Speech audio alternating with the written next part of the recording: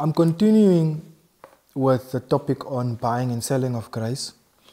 And I promised you all that I'm not going to go through a lot of verses like in the beginning so that we can slowly journey and all of us grasp and understand together exactly what grace is and what God says, what He wants to do with grace. And so I'm, I'm not sure, I, I want to Google a word quickly because while my wife was talking, a thought came up. And that usually happens when she talks. But micro is more something that that's small. Now, what's the opposite of micro? Macro. I thought that, and I thought macro, but you get a macro lens that you zoom in close to a to a certain thing. Yeah, so that's why. But if micro is small, then macro is big. Okay. So good. Thank you, smiling. So with with this topic of grace, there's a micro focus and then there's a macro focus. So God's focus on grace is macro. It's the bigger picture. It's the eternal picture. It's to do with the will of God and serving the purpose of God that is to do with eternity. Where we bring it, I'm making examples and narrowing it down to the macro, where it's specifically targeted to our individual lives and what we encounter and what we go through. But just bear in mind or have it, eh, keep that thought that God is talking in this in a macro context. So this is actually, to put it simply, is that God is telling us what He wants to do with the church purposefully. So if you adhere to this word, you are actually adhering to the will of God. If you put in practice this word, you are putting in, you are trying, you are in pursuit of the will of God. And so if you're looking, if you're saying that I want to pursue the will of God as He, as He is. This is the will of God. This is the macro perspective of the will of God. But there's something I wrote last that I want to that I want to read out for you. I'm just looking for that. Okay, I'll go to that later. But yeah, let me start. So, this is the season where all prophetic words will come to be fulfilled. You see, another example of God talking macro. And as it comes to pass, it's no longer a prophetic word, but we are now loving it. So let's say, for example, was said that I'm making, I'm talking too much about myself. So I would everybody permit me to use you guys for examples? Charlie's request. So I can use you guys as examples. Naturally. And I can use you as well. Not you. okay. So let, let me make an example. Okay, let me, I'll make an example of myself first and then I'll continue onwards with you guys. Is that Kobus prophet came and spoke, spoke a prophetic word towards my wife and I. That was 2018. And so today we are partially walking in that prophetic word. So that was a prophetic word that was spoken. And now, in this prophetic word, it has come to pass partially, not fully. And so we are not now we are no longer there's no longer a prophetic word in the in the in, in the part where we're walking in now it's no longer prophetic word, but we are living in it. So that's the same manner in that in terms of grace that it's a promise. God is giving out promises. He's speaking about inheritance. Last week I mentioned about what an executor is of an estate. That a saint one example like Paul, he's almost like an executor to your estate, to your inheritance. And so those are promises that God gave to you. Those are things that God gave to you in the spirit. So it, it, it, you are determining if you are loving and accessing this prophetic word or will it still stay as a prophetic word? Yeah? Don't mind, uh, she's still and say they're moving around. Just focus here, focus here. Don't worry, they, they can walk around, it's fine. So, JP started speaking about grace last in November 2019. We are now in 2021. Which is, which, what, what is it saying to us? It's saying that this word, a lot of this word has not come to pass yet. A lot of this word we are not living out yet. We are not putting it in practice yet. Meaning that if God gave promises like what like in Abram, God gave promises to Abram, and it's by through grace that these promises are activated in our lives. So, which means that if we're not living out the prophetic word that God gave to us, then we are deficient in grace because we need grace to activate or access those prophetic words, the things that, that were spoken unto us. And when I'm saying prophetic word, I'm not just saying that when a prophet came to the town or to your house or to your church where he spoke a prophetic word. I'm saying that when somebody teaches the word, the word is full of prophecy. When Jesus said, You have an inheritance in Christ, there's a, that's a prophecy right there. Do you have it now? Are you living in it now? No. And did Jesus speak it? Yes. So it's a prophecy that must come to fulfillment. But how? You need grace to fulfill that prophecy. And the reason why it's like that, it's because God is the one that inspired Jesus to speak the things which God wanted to say. Remember, God is spirit, so he's not he, he, he has no not he has no access, but he does not have a human body, but he has access to people, to sons, which he speaks through. So if God is spirit and he wants to say something to the church, to the sons, to, the, to his people, then he uses people to speak through.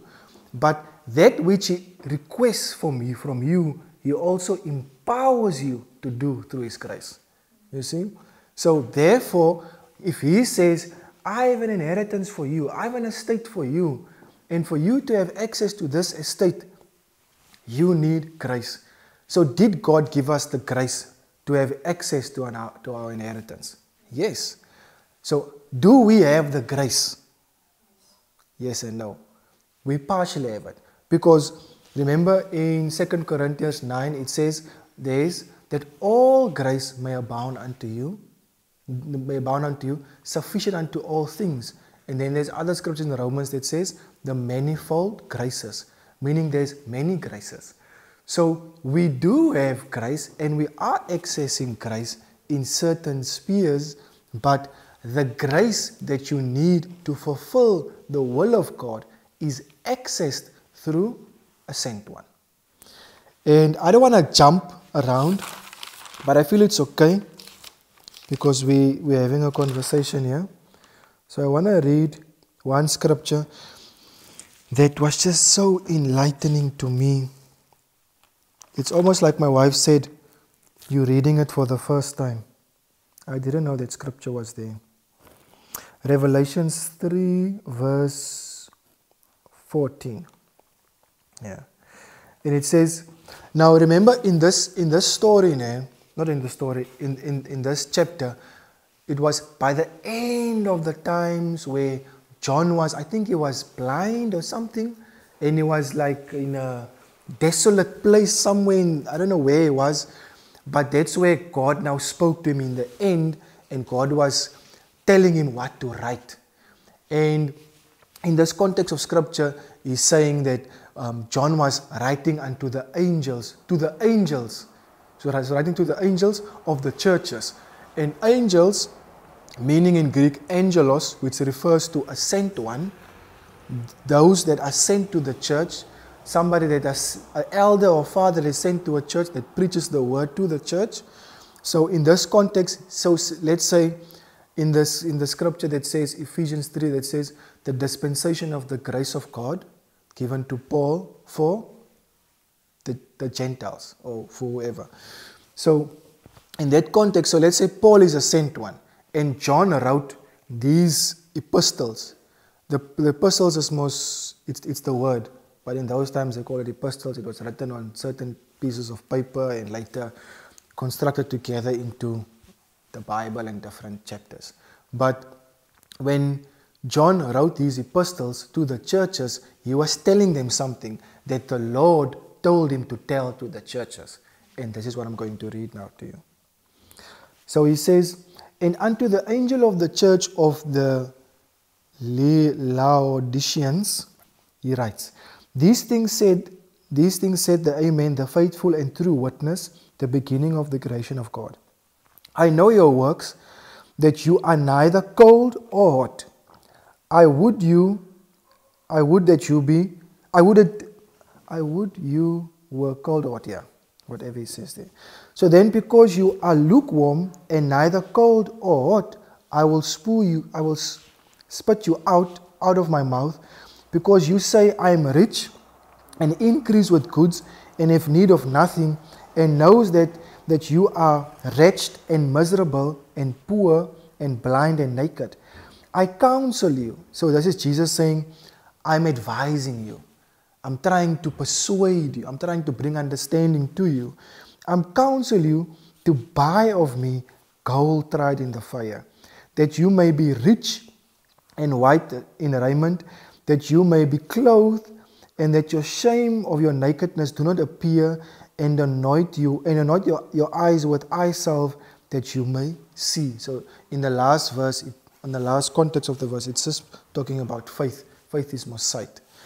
So, so what's what's interesting, what what John is writing there, is that this is just affirming and confirming that that the Lord is using this method of somebody preaching the word to you so that one thing can be spoken to the church and not let's say God, is, God shares with Mona, shares with my wife, shares with Caitlin, Smiley, and, and Raymond, and God shares a different thing. And we do whatever each one says we must do because God is not sharing to everybody. Will the church now come to oneness? Will the church be able to accomplish the will of God? because everybody is going in a different direction. You see? So, in terms of grace, God speaks to the saints a certain measure, but then God speaks to a saint one a certain measure. So, what God speaks to a saint one is different from what God speaks to a saint.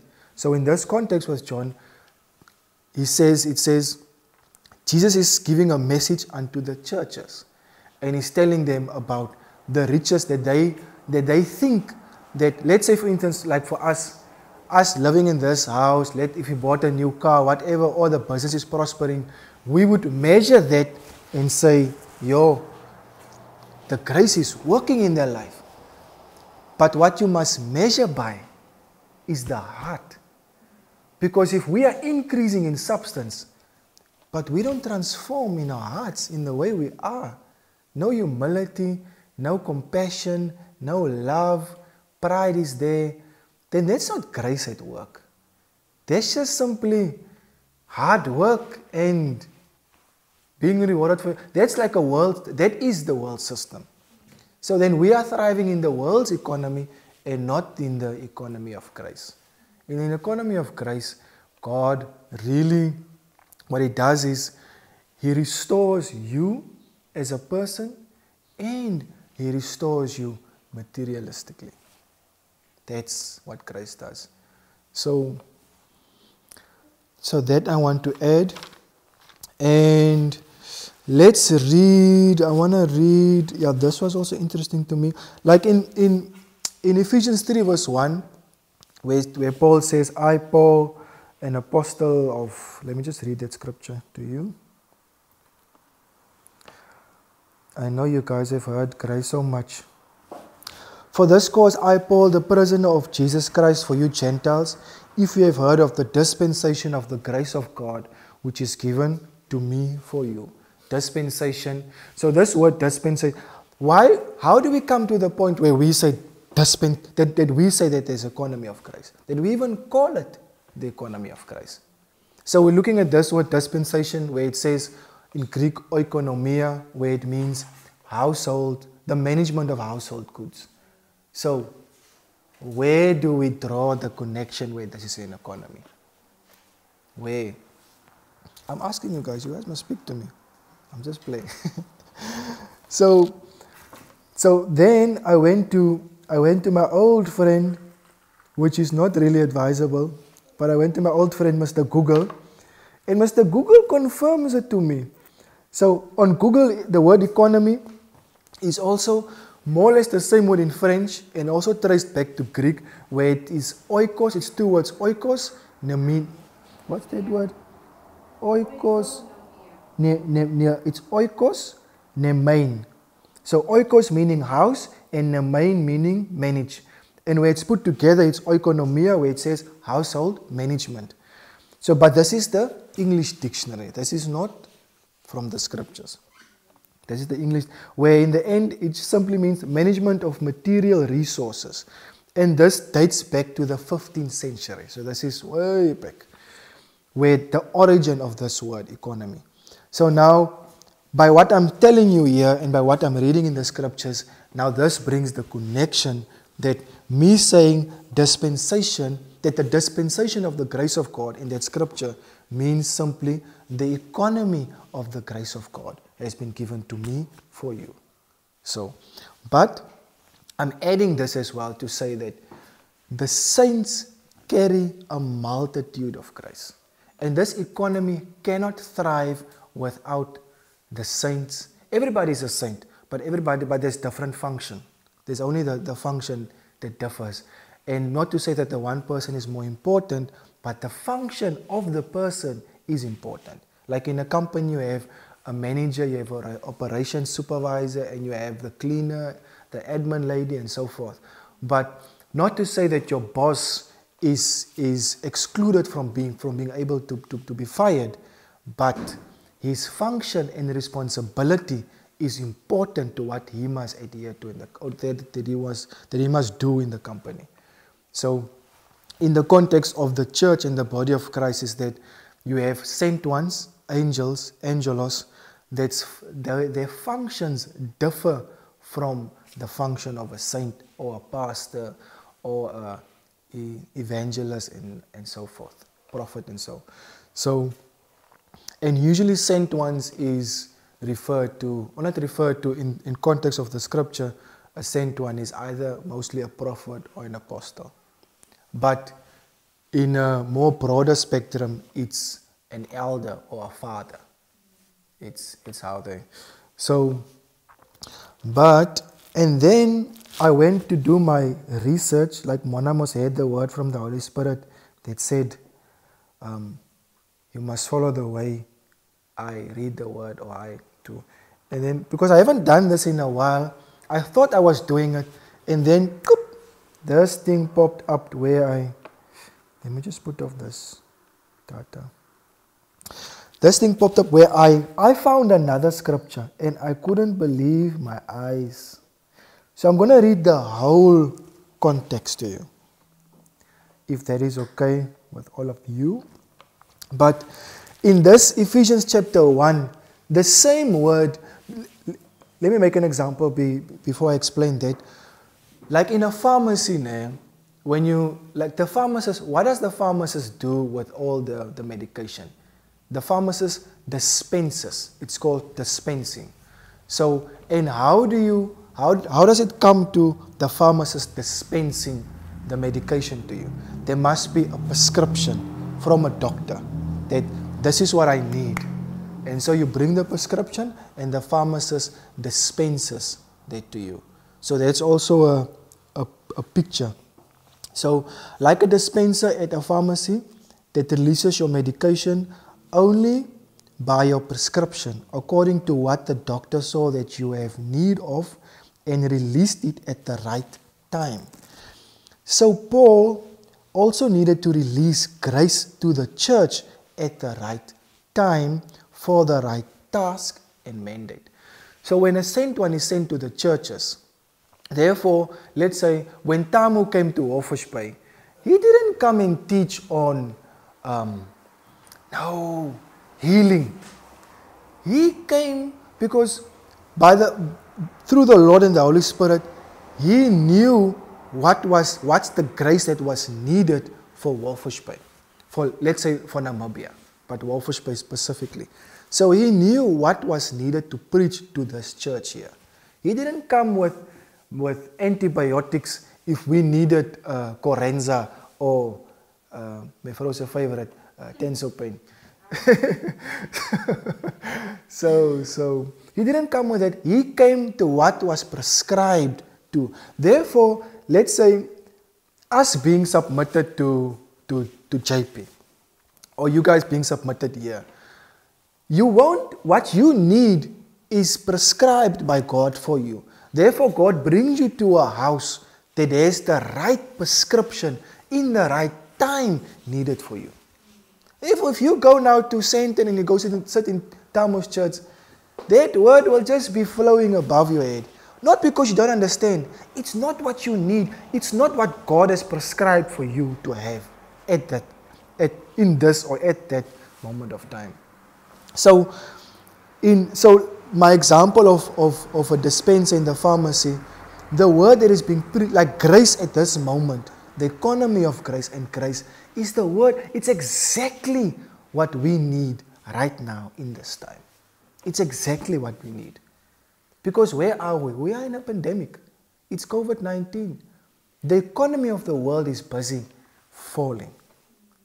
So God is saying, hey, guys, don't worry about that economy. I had my own economy that has been formed from the from the, from the time I formed the foundations of the earth. I, this economy has been established. And I'm telling you now that here's this economy. Take heed, there here's this economy. And now he's telling us how, how can we? That's how we did it. So that is just a historical lesson before I continue to read. Paul, an apostle of Jesus Christ, by the will of God, to the saints which are at Ephesus, and to the faithful in Jesus Christ, grace be to you and peace from God our Father and from the Lord Jesus Christ. Blessed be the God and Father of our Lord Jesus Christ, who has blessed us with all spiritual blessings in heavenly places in Christ, according as he has chosen us in him before the foundation of the world, that we should be holy and without blame before Him in love, having predestinated us unto the adoption of children, which in Greek means sons. So, unto the adoption of sons by Jesus Christ to Himself, according to the good pleasure of good pleasure of His will. No, so you see, His will is there included. To the praise of the glorious glory of His grace. To the praise, hallelujah, of the glory.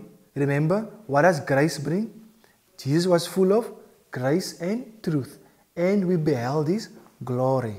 So, to the praise of the glory of His grace, wherein He has made us accepted in the Beloved, in whom we have redemption through His blood, the forgiveness of sins, of His will, according to His good pleasure, which He has purposed in Himself. That in the dispensation, same Greek word, oikonomia, meaning household goods, that in the economy of the fullness of times he might gather together in all things in Christ, in Christ, both which are in heaven and which are on earth, even in him. In whom also we have obtained an inheritance, being predestinated according to the purpose of whom he works all things after the counsel of his own will. I'm stopping right there, but I'm just affirming to you to tell you that what I said last week about the inheritance, your erfporsie, that's a, that's executeur. So I'm just confirming in the scripture that in the same context where God is talking about the dispensation, the grace, the economy. In the same context, he's, he's talking about your inheritance. So this is just connecting the dots for you, telling you that what I'm saying in Ephesians 3 about the economy, and then Paul, that the economy of grace is in a sent one, that in this context of scripture is just confirming to say that this is an economy and this is there is an inheritance and then it goes to chapter 2 and then to chapter 3 where in chapter 3 it says that I am that there's a that there's people that possesses the grace in relation to your economy, I to your inheritance. So you see how God, when he, when this, when the epistles were written, it was line upon line. It's like a storybook. So, but in verse in verse seven, it speaks about the riches of His grace. In verse nine, it says, "Having made known unto us the mystery of His will." So this is saying that God is saying that the economy also relates to His will, also relate to His purpose. And you see, for us, you, you know what, what, what the most challenging thing is? Is that what we love, how our lives are orchestrated day to day. You, you have to go to work and you pursuing what you want to do. And there's so much stuff going on that is macro. And so now when God comes and He speaks, when there's so much things that going on that is micro, and now when God comes and speaks macro, it, it's such a weight. It's such a weight. Yo, how will I how will I pursue the will of God? Yo, it is hard. It sounds like hard work. But God says, I give you power to do this. So the worry is not in how will you do it. The worry should be, Father, help me to understand this. Help me to grasp this. Because the moment I grasp it, you will empower me. And without having to work, grace will work for me and around me and in me. Grace will restore me. Grace will heal me. Grace will bring prosperity. Grace will be will bring fruitfulness in my life. Grace will direct me. Grace will move me. That's grace. And I'm no I'm not overselling grace to you. This is the truth.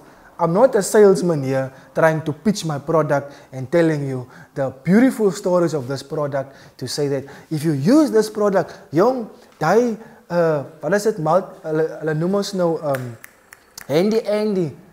Like Handy Andy is mos a brand, but it's mos a multi-purpose disinfectant. So people use Handy Andy for everything. Die die vloere word gewas met Handy Andy. Die vensters, die skorrelgoed. Kyk, Som was kinders se klere met handy handy. so, but handy handy is not grace.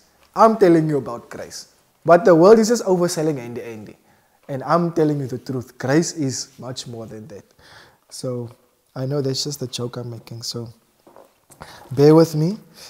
And let me, yeah, let me go further.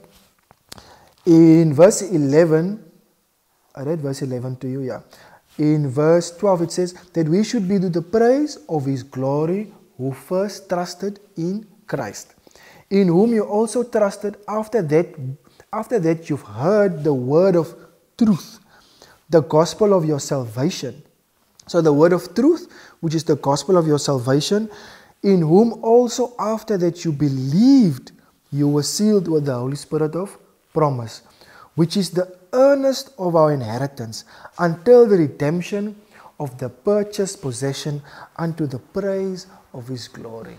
Did you know that this word in Ephesians 1 verse 14 that says, which is the earnest of our inheritance. Did you know that that word earnest simply means deposit?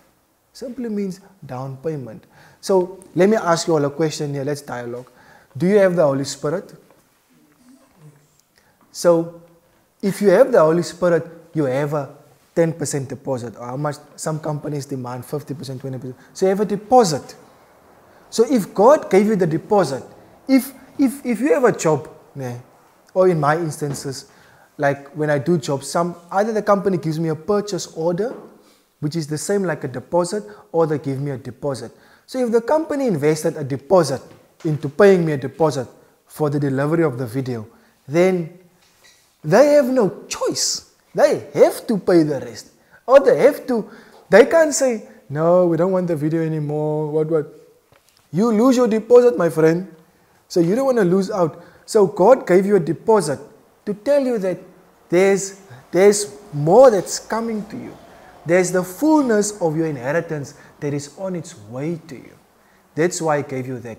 But the reason He gave you the deposit of the Holy Spirit, so that the Holy Spirit can help you to understand and perceive this economy and this set way of how God is about to bring his inheritance to you.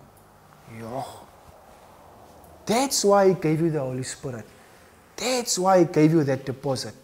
It's, it's, it's, an assure, it's your insurance mind um, to say, so when, you, when, when my parents died, my ID, oh, my friend, is the most important thing for me. Because with, without it, ek kan nie daai F-porsie nie. Ek kan nie daai hoeveel was dit ook paar honderd duisend rand. You know what we did? what we did with our first, when we received the pension money, I always wanted. Sure. When we started dating, I always wanted our own car to go where we want to. Do. So what was the first thing I bought with the pension money? okay. But for the sake of, of we, this is because I'm speaking truth and my wife mentioned truth. That was not the wisest decision. That was not. Everybody told me, my grandmother told me, just buy a cheaper car and use the money for what. So, but in that time, I had so much, you know, what's the word? Challenges with my identity. I needed material things to help me to feel more secure and affirm myself. So I wanted a specific car. Because if I have that car, then I have the reputation. I wanted the reputation. Now, glory also means reputation. So I was searching after the world's reputation.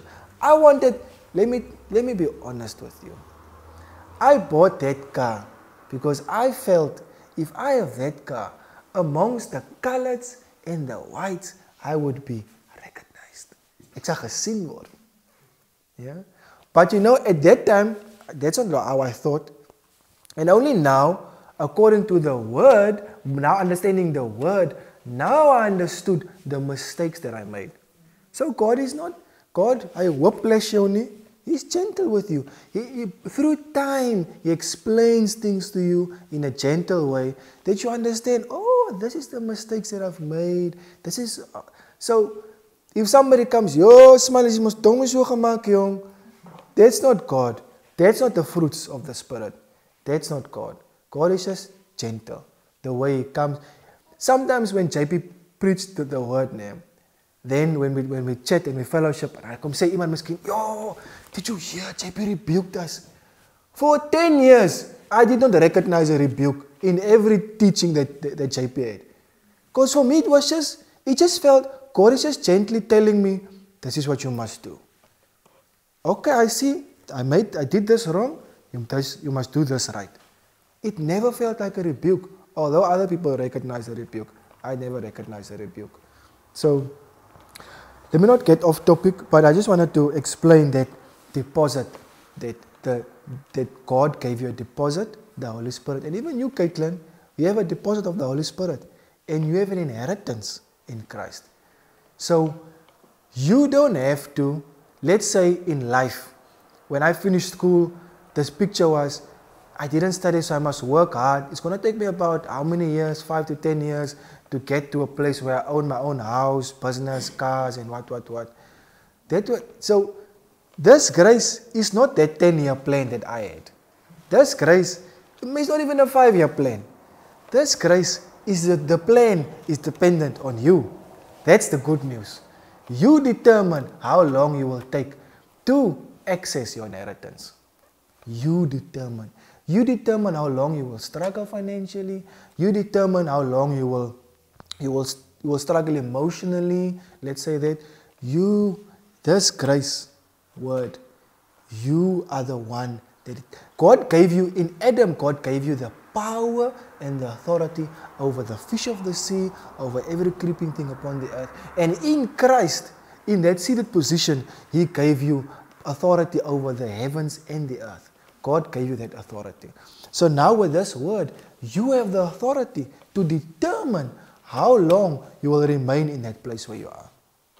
God gave the church to be the head over the things, therefore, we need grace that will empower us to fulfill and complete the will of God. So, I'm talking, I'm, what I'm doing here, I'm, I'm speaking macro, micro. Macro, micro. So I'm speaking, this is what God says macro, then I'm narrowing it down to micro.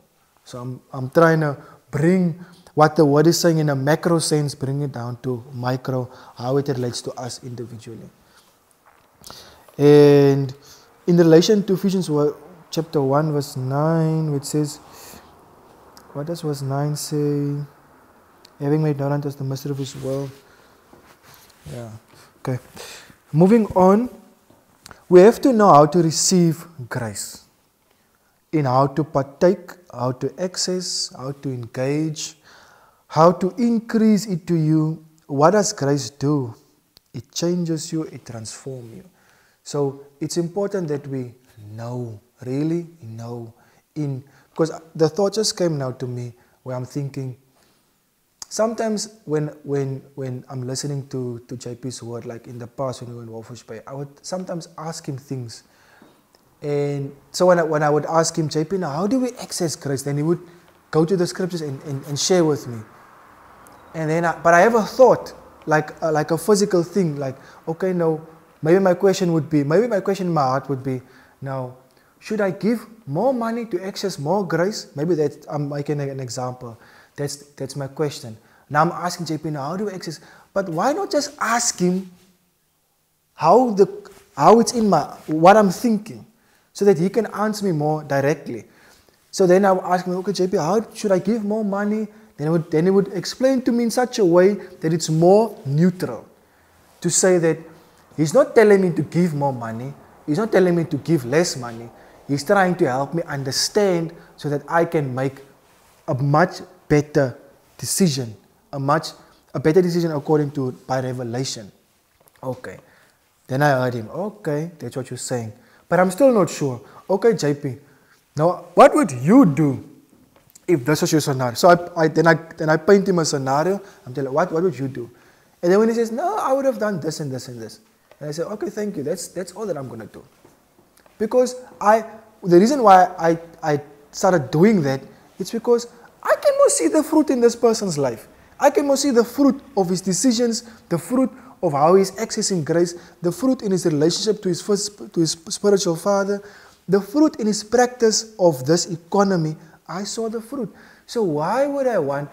Yeah, I need understanding, but now that I have understanding, I'm still unsure in practice. And I just ask the person, who doing it? What would you do?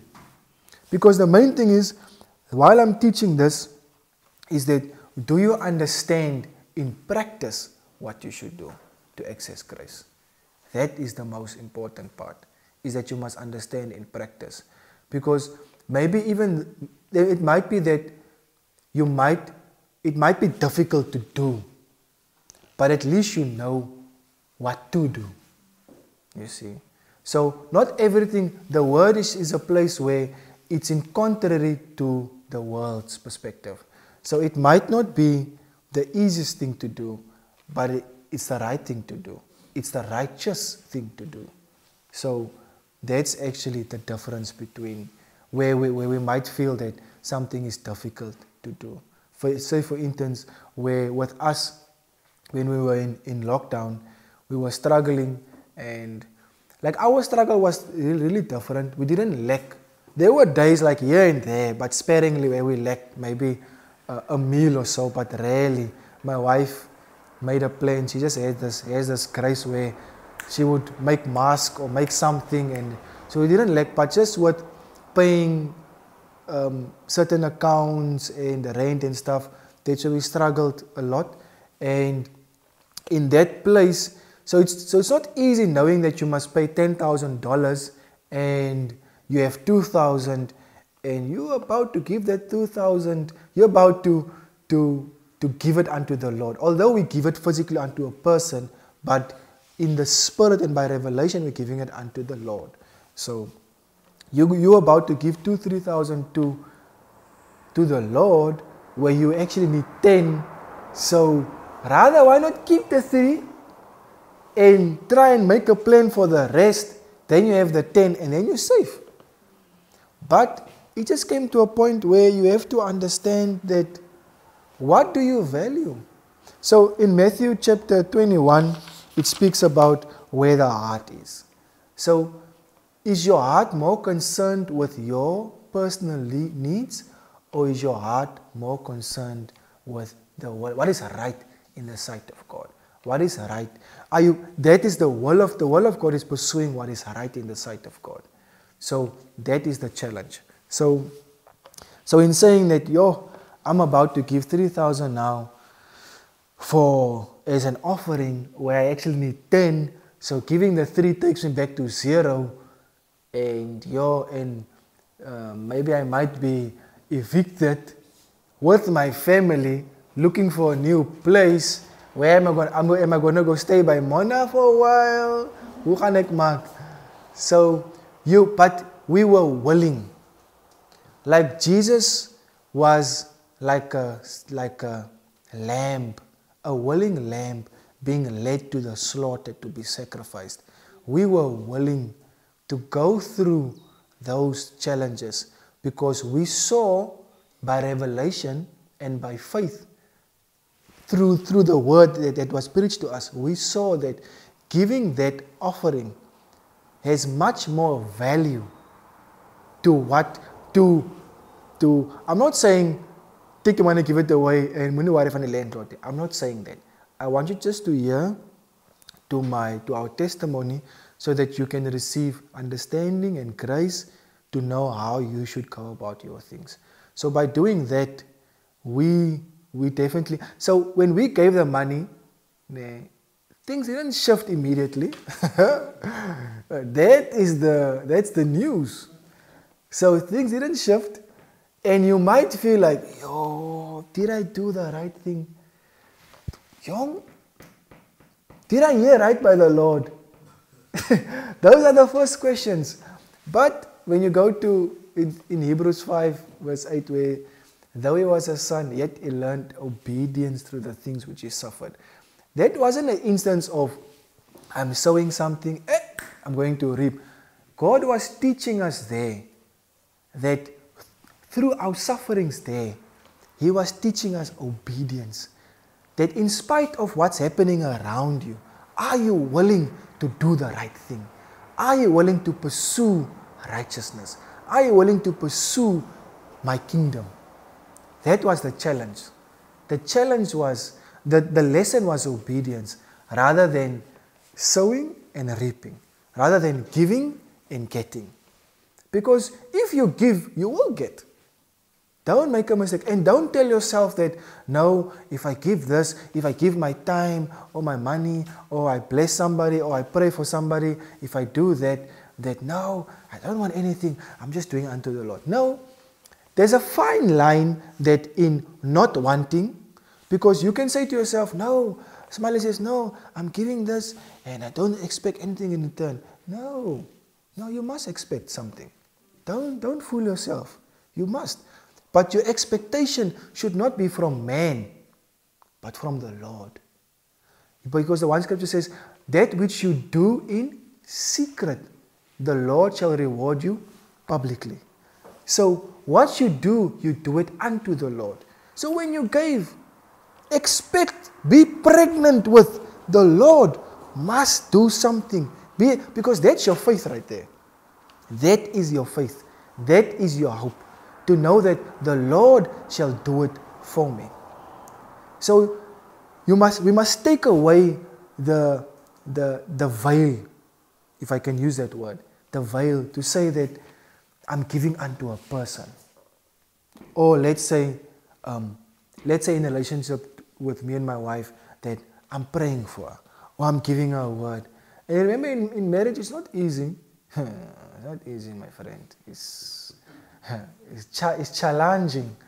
It's, it's, because you have this beautiful woman, yeah, but I won't. no, I'm, I'm just playing. I'm just playing. Those are past experiences. And my wife would also say, Yo, I have this handsome man, but yo, that attitude, oh, yo, it's problem. But in spite of all that, you have to do the right thing. You have to pursue righteousness. You have to give yourself to that person. So, in the same manner, but you're not giving yourself to the person, you are just adhering to the word to the righteous word. So, in the same way, when we're giving unto saint ones, unto the Lord, it's not the person that you, it's just that person is just taking possession of what we give. But it's unto the Lord that you are doing it. And now you are expectant. So the Lord says, He rewards, He gives things unto you. But now, now he has, remember, remember I mentioned the, the dent, um, at the, not dentist, at the pharmacy, where, where they dispense your medication, where you come with a prescription. So there's a prescribed way that you will receive from the Lord. And so Lord is saying that there's an economy. This is my prescribed way that I will bring you to the things, your inheritance that I have for you. And um, there's just no other way. There's no other way. What we've known in previous seasons, this is a new season. I'm not declaring now, but we've been in how many years we've, we're in a new season. And this is the prescribed way. There's no other way. So you have to sell the knowledge of an old season to enter into a new one.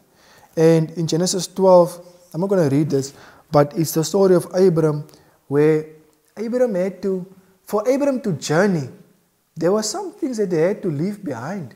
So he couldn't take everything.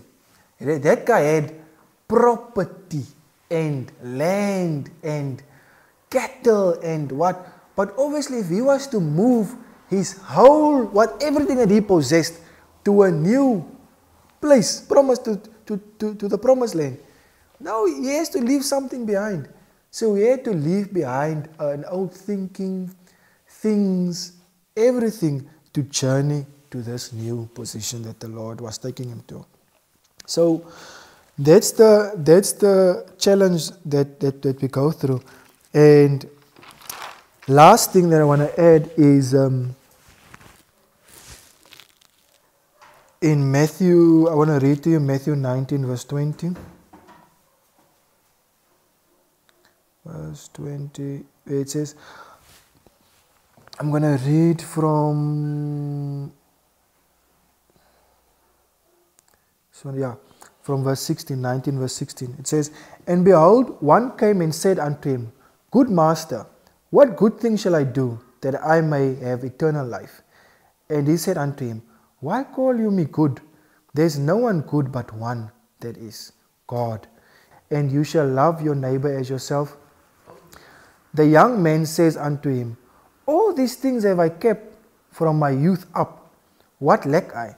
So it's, it's, it's in the context of, you know, you grew up in a Christian home, and so, like an example that I, that, that I now make a lot recently is that, is that I'm saying that if you look at the scriptures, you would say, to be a, what is the what, what is the, the practice or the cost to be a believer?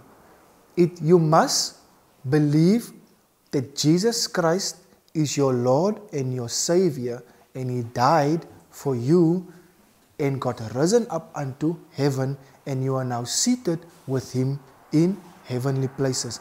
That is by believing that you become a believer. You become, you get, you enter into the family of God, you and then you get baptized, and then you are a son of God, and all these things.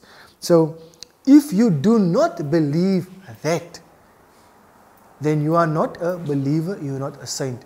So, in the context of the Pharisees, né, going back, in the context of the of the Pharisees, is that the Pharisees did not receive Jesus Christ.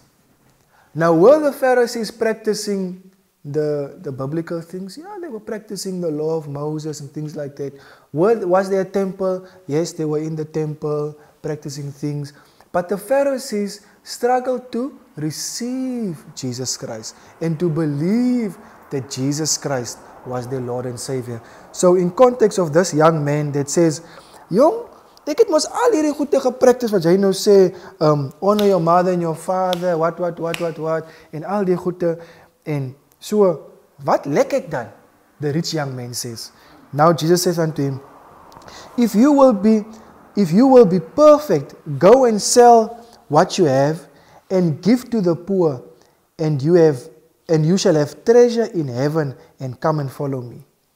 So he's, so so but to make an example, it's not always that you must physically sell. Jy vat nou jou hele huis en jou Navara en jou wat en jy gaan die kerk om te sê hierso pastor, ek verkoop alles want ek soek hierdie heavenly treasures. No, no, no, no, no, no, no. The scripture is interpreted, must be interpreted by revelation. So you're not literally, literally practicing that. But in the story, it was literal. But in the now, in, now that we're reading the scripture by the Spirit, it's by revelation. So this might be that the Lord might request different things from from from everyone. Might request say, "Daai um data besigheid van jou, um gee hom vir die Here." Nou sê jy, "Ja, now I'm going to stop with this business now. I'm giving it unto Lord JP. Here's all my data things. Here's all my clientele and stuff. This is yours." Um Wat moet JP nou mark met dit?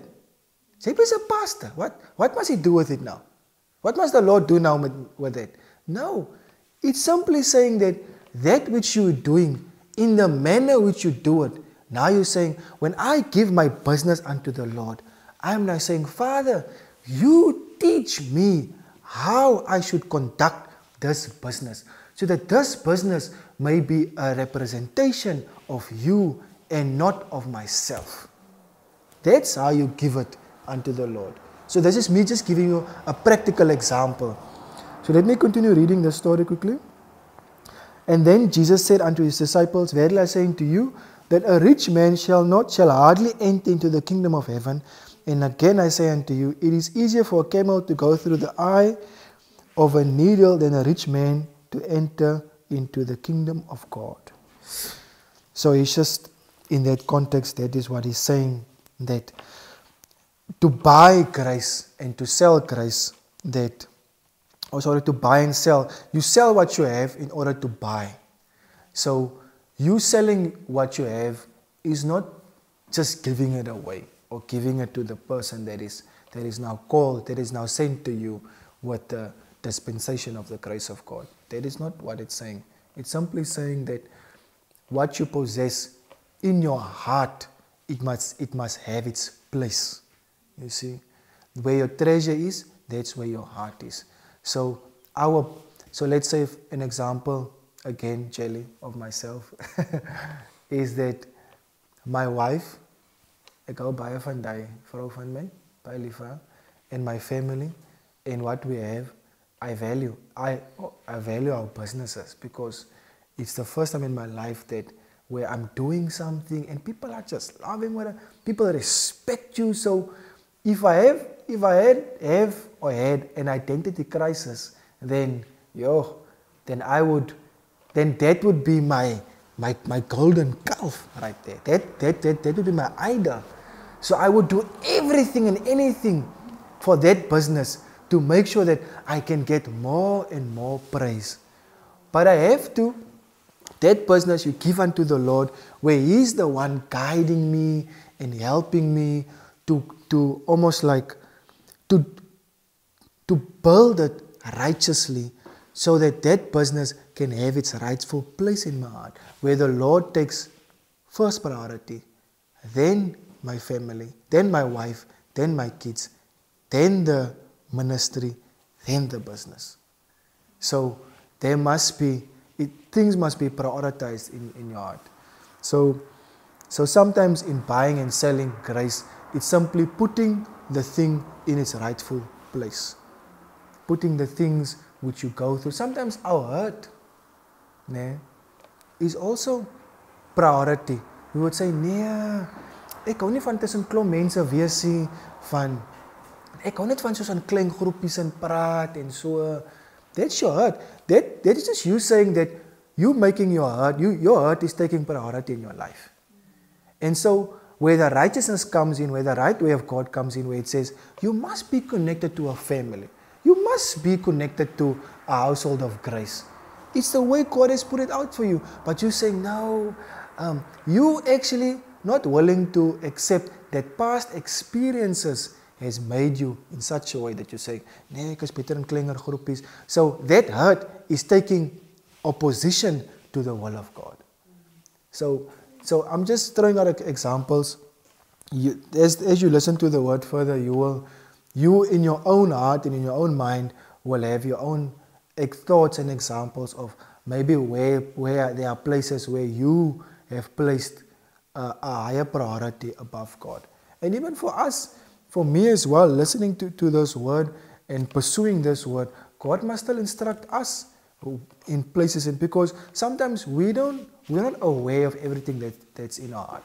And the Holy Spirit is the one that helps us to reach into that subconscious in our minds and in our hearts where these are the things like, like with my wife where she had the dream or the word about the color pink.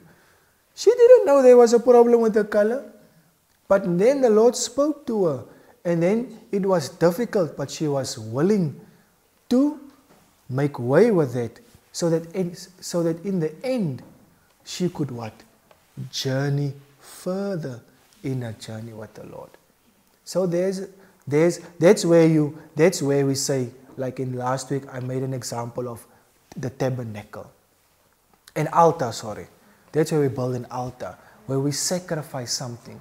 So in the Old Testament they had to put down altars to make sacrifices so to, to further journey. So we also make altars in our lives where we sacrifice certain things, our businesses and stuff like that.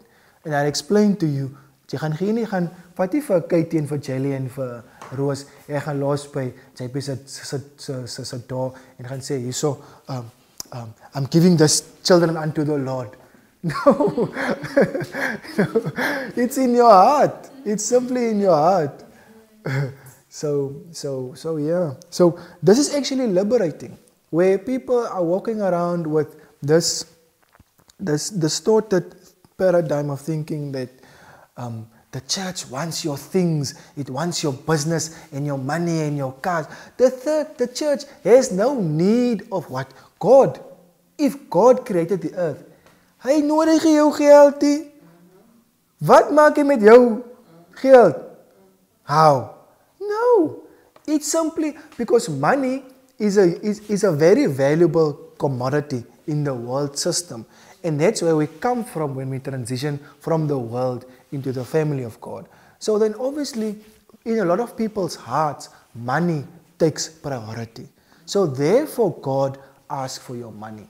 That's the only reason he asks for money. If it was meat, then he would say, I want your meat. And if it was whatever, he would just tell you that that's what he wants. So the only reason why God is saying that we must give tithes and offerings and first fruits, if you own a farm, sorry, if you own a farm and you have in your bank account $2,000, but you have 100 cattle, what will be your tithe? Will you be tithing of the 2000 in your account or be tithing from your cattle? That's a good question. That's a, that's a very good question. So, because what is happening with, with, with the cattle? It's most reproducing the whole time. So it's something that it's, it's, it's something that's flowing. So in, so in everything that's flowing, so it's increasing and increasing. So there's you selling and you're getting more. You're selling, you're getting more. So you, you will be paying tithe maybe from your money and your cattle. Everything that we possess, we give a tenth of to the Lord. So it's not to say that God needs what we possess. It's simply Him helping us to put whatever we possess in its right place. So that is freeing us to say when we give tithe, offerings and stuff, that we are giving it by it's by law. And we should never give by law because somebody else expects that we should do it. We should never do that. The moment you do that, you are just giving money away, my friend.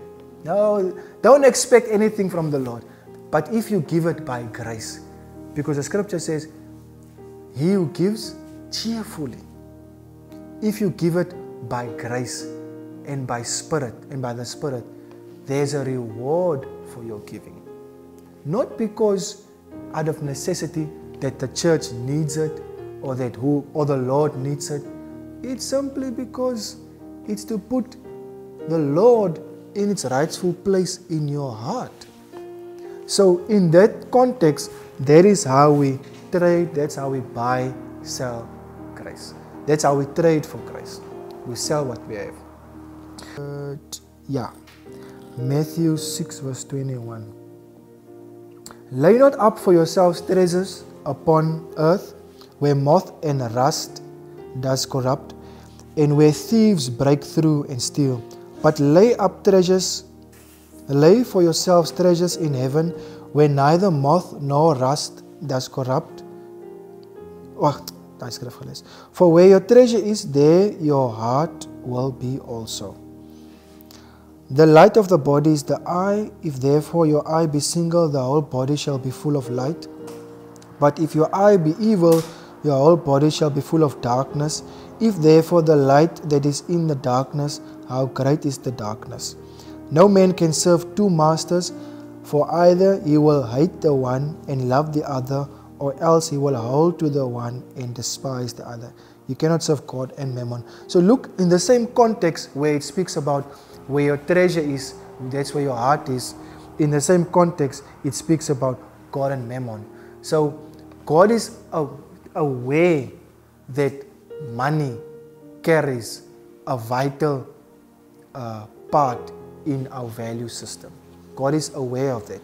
So don't expect like nee die Here is gee so hy is nie much betrokke met die nee he is well aware because he's, he lives in eternity and we live in time.